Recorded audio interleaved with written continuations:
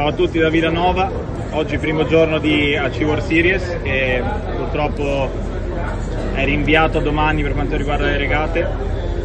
Oggi tanta pioggia, pochissimo vento, siamo andati fuori, abbiamo provato a essere le vele, eh, poi il comitato di regata ha deciso di rimandarci a terra perché non c'erano le condizioni minime per poter regatare. Adesso abbiamo la barca in banchina, i ragazzi stanno occupando di riprepararla per domani, la rimetteremo qui davanti alla nostra base e ci prepariamo alle regate di domani.